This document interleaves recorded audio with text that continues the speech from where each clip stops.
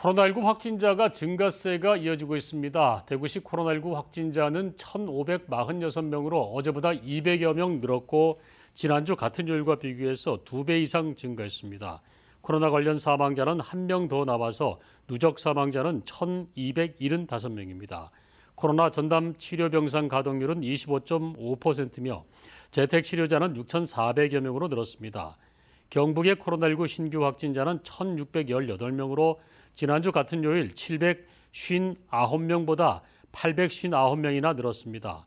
경북에서 사망자는 3명이 더 나와 누적 사망자는 1,436명으로 늘었습니다. 경북의 중증 환자 치료 병상 가동률은 18.5%, 감염병 전담병원 병상 가동률은 18.2%고 집에서 격리 치료를 하고 있는 경북 도민은 6,870명으로 늘었습니다.